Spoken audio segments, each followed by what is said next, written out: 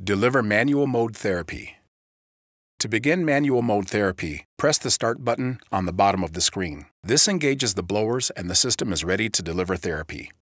If the patient is using a face mask, ensure it is tight against their face without any leaks of air. If the patient is using a mouthpiece, ensure they are making a tight seal and keeping their cheeks in. You can also use a nose clip if needed. If the patient has a tracheostomy, hold the handset during therapy so there isn't additional pressure on the patient's tracheostomy. Press PEP to deliver the therapy. You will see the time begin to increase under the PEP circle and the PEP circle is illuminated. If you want to run the nebulizer during PEP, press NEB so the nebulizer runs during therapy. The NEB circle is illuminated, and you can see on the screen how long the therapy has been running under the NEB circle. When you are ready to switch to high frequency oscillation, press OS. This will turn off PEP, and the OS circle will be illuminated. You will be able to see how long you've been delivering oscillations by looking at the time under the circle.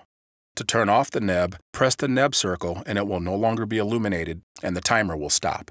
To adjust the oscillation settings, conduct a long press on the OS circle and you will be able to adjust the settings real time. You can alter pressure and frequency based on the patient's feedback. If you switch back to PEP, press the circle to illuminate the therapy and you'll see the timer begins. You can see the current phase time and total phase time for PEP. Continue to alternate between PEP and OS, turning on NEB when needed. The nebulizer can also be run on its own by ensuring only NEB is selected or illuminated. The timers below each therapy phase will adjust based upon which therapy is active.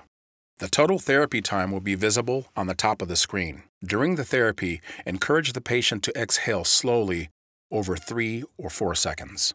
Also encourage the patient to cough out secretions as they mobilize in their upper airways. If needed, gently suction secretions the patient is unable to cough out. To end the therapy, press the pause button and then press End Now. The Therapy Complete ribbon will be displayed across the screen. You can see the therapy summary by pressing on the eye on the right of the ribbon. To close the ribbon, press X on the left. For more information about the BiWaze Clear system, visit our website at www.abmrc.com.